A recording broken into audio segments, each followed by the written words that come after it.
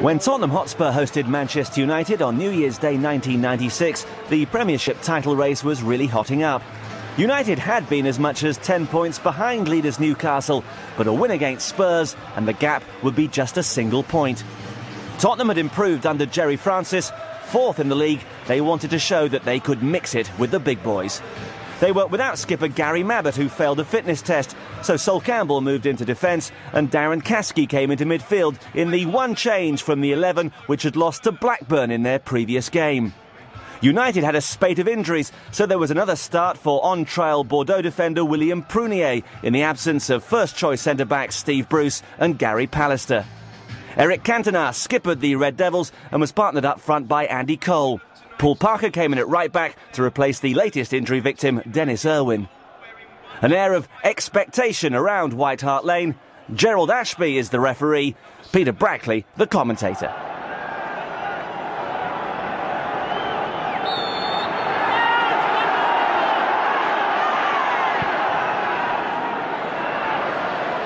Prunier's first contribution is somewhat wayward. Dean Austin will be operating on the right-hand side of Tottenham's back line, which Gerry Francis has had to reassemble in the absence of Gary Mabbutt. Rosenthal goes down quickly by Keane. Here's Paul Parker getting another opportunity at the senior side and his chances have been very limited by injury and indeed the form of others too. Came back into the team for the match at Leeds and had a real struggle in the centre of the back line. One of his errors led to the Leeds goal scored by Tony Yeboah. But he's back in tonight, Parker. Of course, he has represented his country in that right back position. Stuart Nethercott, who's in midfield today, for Tottenham. He's nominally a back four player, but such is the extent of that injury list that Tottenham have. Gerry Francis has no alternative really but to play one or two players out of position at the moment. Got a whole midfield missing through injury. The most significant, of course, being Darren Anderton, the England international, who had hoped to return to the team by Boxing Day, but I think that was a little optimistic, to put it mildly.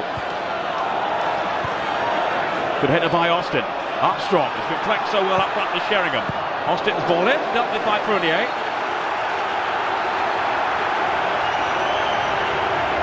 He looked very assured, and certainly his passing was immaculate on Saturday. Just caught out of position once or twice, and Alex Ferguson feels this is his real test tonight. We'll see how good a defender he is.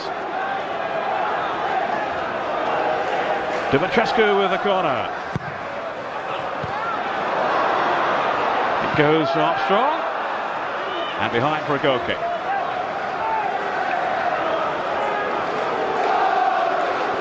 Teddy Sheringham, Tottenham's leading goal scorer this season, but he has been carrying this back injury. And I think Joe Francis wanted really to take the chance to rest him over the Christmas period, but there's so many other players out, he just couldn't afford to. Austin. Just checking around. It looks as if, in fact, Campbell is playing in midfield and Nethercott at the back.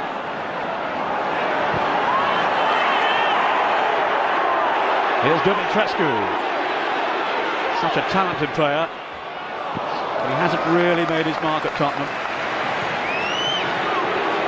Cantona. This is Rosenthal and the deflection, which might have embarrassed Peter Schmeichel then. Rosenthal lively in these first few minutes. Schmeichel, who was, of course, guilty of a very costly error against Queen's Park Rangers at the weekend when he kicked his clearance straight at Danny Dichio, and the result was a goal. Far too casual on that occasion, Schmeichel. Dumitrescu with the corner. Again, it's a dangerous one off the post. Sheringham. So unlucky then. He's first to the corner. And it was right against the outside of the upright there with Schmeichel beaten held in invitingly. The corner by Dumitrescu at Sheringham with the header against the post. That's Edinburgh with the header. Nethercott. A foul then by Dumitrescu on Paul Parker. Dumitrescu starting on the left and Rosenthal on the right.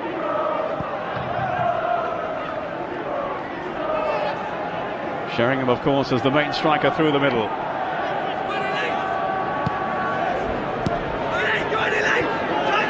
Parker. Now Prunier. He's found the keeper. Cantona. This is Philip Neville. Now Cantona. This is David Beckham. Well, he scored four times this season, Beckham, one of the many youngsters, of course, being given their head in the senior side. And he has responded admirably.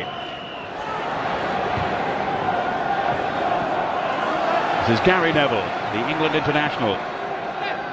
Seems to be a regular in the England side now, though, of course, at right back rather than in the centre of the defence, where he's playing for United at the moment. Armstrong, another positive run by him. Options in the middle with Dumitrescu and Sheringham arriving too. The composed defending by Gary Neville. He certainly doesn't seem out of place in this central defensive role. Amazing to think he was in United's reserve team at the beginning of last season. Ended the campaign as an England international. Rosenthal. This is Armstrong. Foot strike. Oh. Peter Schmeichel clearly thought it was going over. And in fact, it struck the top of the crossbar, much to the relief of Schmeichel. Just wondering if there's an injury problem with Schmeichel. He's not taking the goal kicks. He doesn't look at all comfortable. That's twice now. He could only look on in bewilderment as the ball has struck, well, first the post, now the crossbar. We did wonder why uh, was on the bench. Alex Ferguson had initially named three outfield players. Well, maybe that's why. Maybe Schmeichel does have a problem. Here's Giggs now, hoping to pose a problem at the other end for United. But it's harmlessly through. Or has the referee decided that's a back pass? I think he has. It's always such a dilemma for referees. That looked a bit harsh for me. It has to be an intentional back pass. It certainly came off a Tottenham player. I think it was Calderwood. And the referee has given the free kick. And rather than argue, Tottenham would be better advised now to compose themselves, gather their thoughts and their concentration now to face this kick which Ryan Giggs is taking for United. And the header from Cantona! Cole trying to squeeze it in, and it's not even a corner. The header from Cantona, that's Edinburgh on the line with Walker, and between them, they just managed to keep it out. Now Giggs on the counter-attack for United. Beckham inside him. Cole has to fetch it though. Parker on for Keane. Cole. Giggs. Oh, great touch. Cole! Fabulous move there by Manchester United. Cole appreciating the service. And all that was missing then was the end product.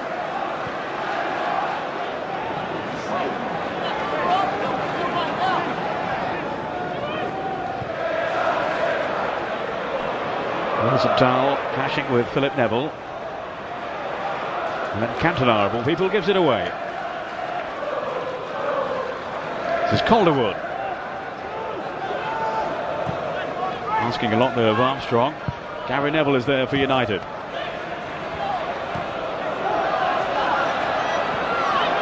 Austin. He's got support from Armstrong. Rosenthal inside him. And Sheringham is onside.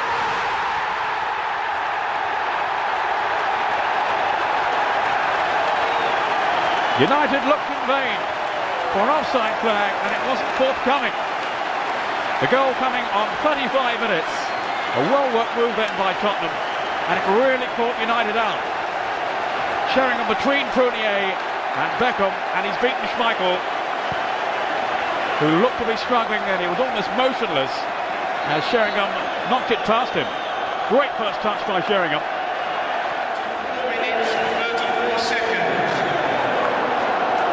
Tottenham lead Manchester United by a goal to nil.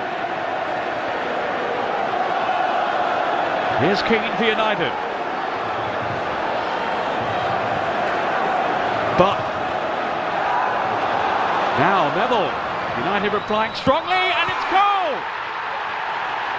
1-1 two goals in the space of a minute have really brought this game to life now. Andy Cole, four goals in four games to mark his return to goal scoring form. Such a cohesive move by United. Nicky Butt releasing Philip Neville down that left hand side. Beckham couldn't reach it at full stretch, but Andy Cole certainly could. First goal for Manchester United, scored by number 17.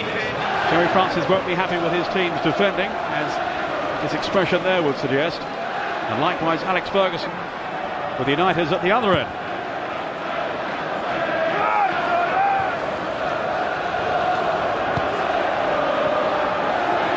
Here's Keane. Just seems to be sitting in front of the back line, Roy Keane tonight, influencing the game from there. Here's Keane now. Releasing Giggs. Another probing run by the little Welshman. Now here's Keane. Keane again. Taking this chance to come forward and link with Cantona. There's Caskey who broke it up. And then Dean Austin determined in the tackle. Away by Nethercott. Armstrong trying to hold off Neville. He thought there was a bit of shirt tucking going on. Still Armstrong. And he's forced the corner off Philip Neville. The rip-roaring encounter now at White Hart Lane.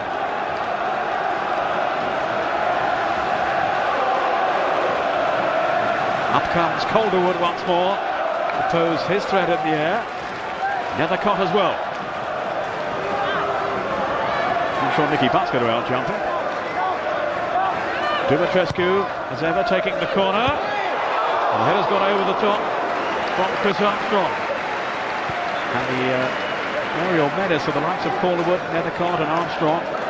There's plenty to concern Manchester United. Here's Giggs. Flying at defenders again, looking to commit Austin. Away by Nethercott.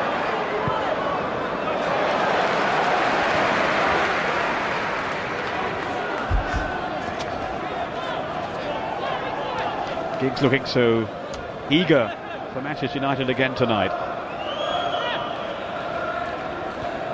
Chested out by Cantona. Dumitrescu. Cut out by Neville. Here's Butt. Cantona couldn't get to it. It goes Keane. Just a driving force for Manchester United. Here's another one, young Nicky Butt. Beckham with a cross in. And the header flashing wide from Cantona. Inside the last minute now of the first half. Which has certainly uh, ebbed and flowed from end to end. Cantona, it's about three headers he's got in tonight. This one, though, was well wide of the target. In fairness to him, there's some pressure on him. Maybe even a little nudge then by Rosenthal.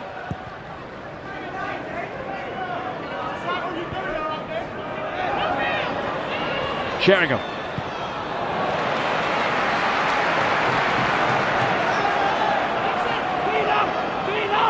Austin with the throw. Almost into stoppage time.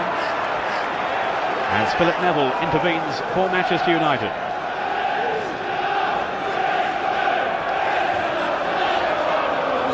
So the last action of the first period being played out deep into United territory. The 45 minutes are up. Off Neville. There's Caskey. Now Austin. Was Keane's tackle. Wasn't effective enough, but it's driven through and in by Sol Campbell. And right at the stroke of half time, Tottenham had regained the lead. Sol Campbell.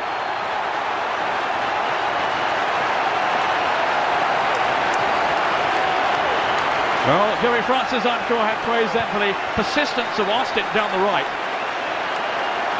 Keane couldn't quite get his tackle in. Came back there, maybe off Parker, maybe off Sheringham.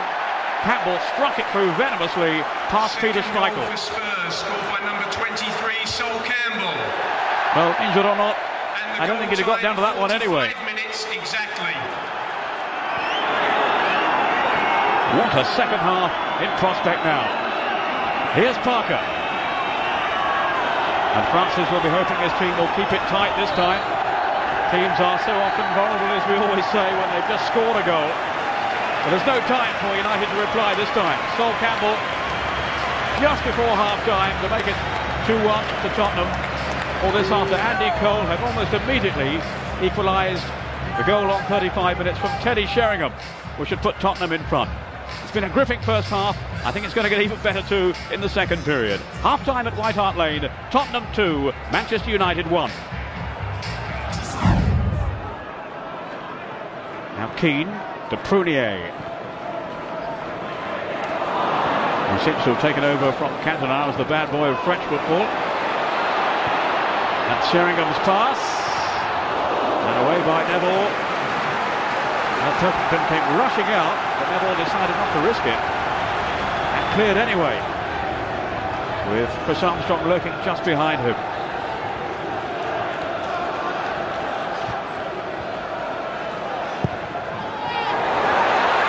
And the header was... Oh! It's gone in by Armstrong.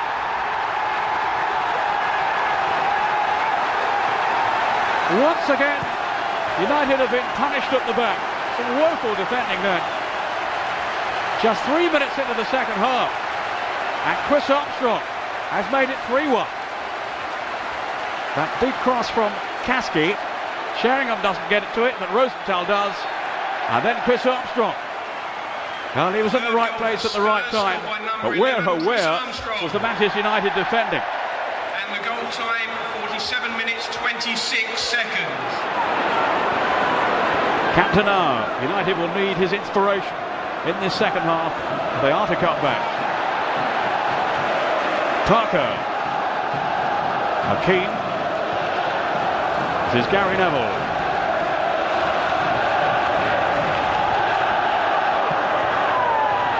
Philip Neville. Cantona has shown for him. Then to Beckham.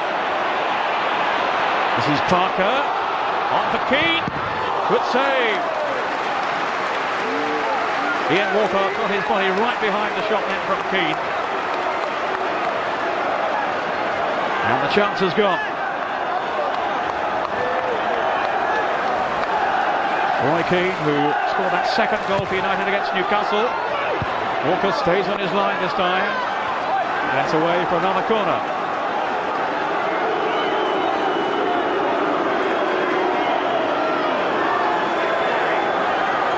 Such a hammer blow for Manchester United to suffer.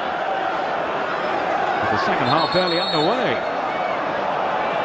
Beckham and Giggs sorting out this corner. Beckham with a cross that's whipped in. Cole off the line. Saved again. Cantona's shot. Won't go in. What an escape that for Tottenham. Giggs. That's a foul by Chris Armstrong. What a let off then for Tottenham. A yellow card for Armstrong. Whose goal has just given Tottenham a two-goal cushion. But now United are coming back at them. Cantona almost on the end of it. There's Cole! Inches wide at that far post from Andy Cole.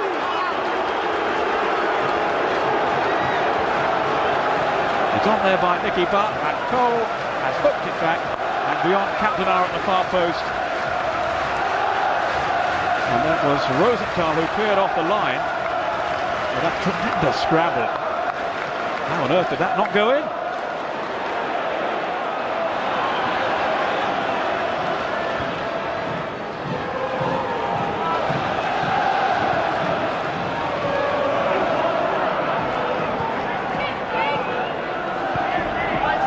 Laid off by Cantona to Prunier.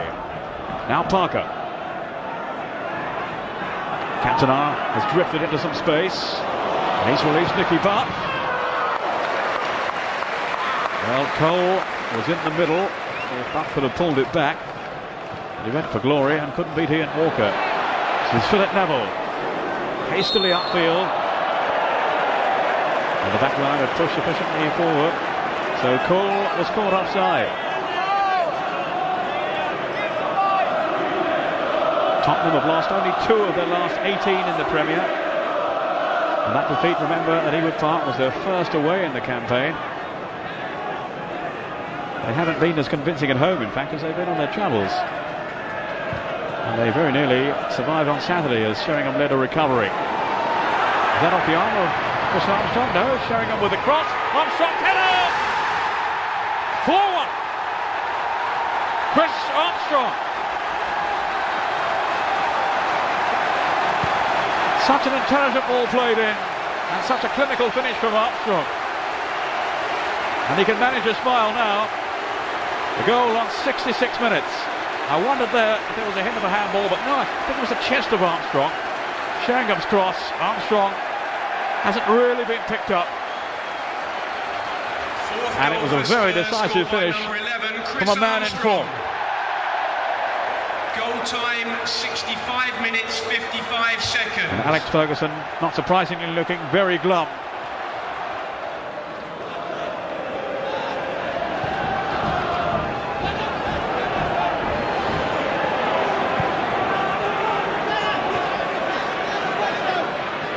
On by Sharpe. Good turn by Giggs. Were plenty of red shirts in the middle. If he could have supplied the service.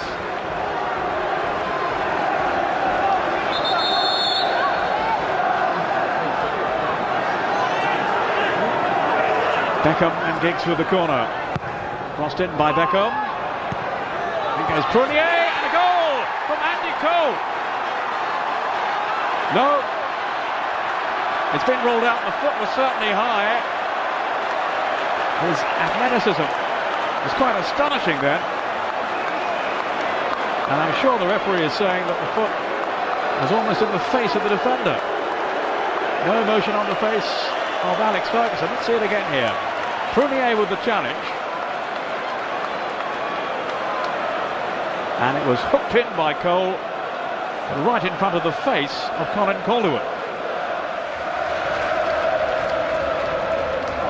This is Paul Parker. He thought he was settling for the throw, but in fact it's Tottenham's.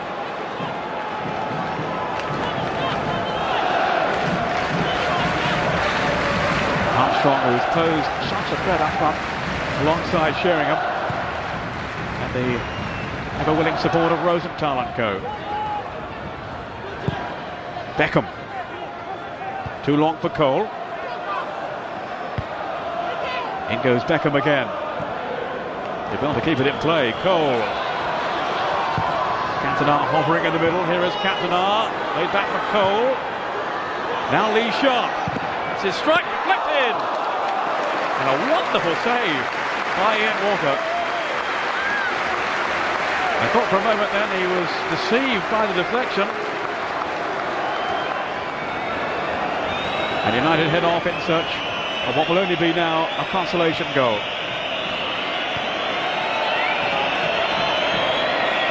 Sharpe. Time almost up. Just a question now of how much Joel Ashby will add on for stoppages. I think there'll be too many. Sheringham. Caskey, who's won his socks off in midfield. Really has worked so hard, Darren Caskey, on his call up for the senior side. The faith shown in him by Gerry Francis has brought the right response. And there is the final whistle. A great night for Gerry Francis and for Tottenham. Four goals to one. A tremendous victory for Gerry Francis's team and one United's fans would prefer to forget.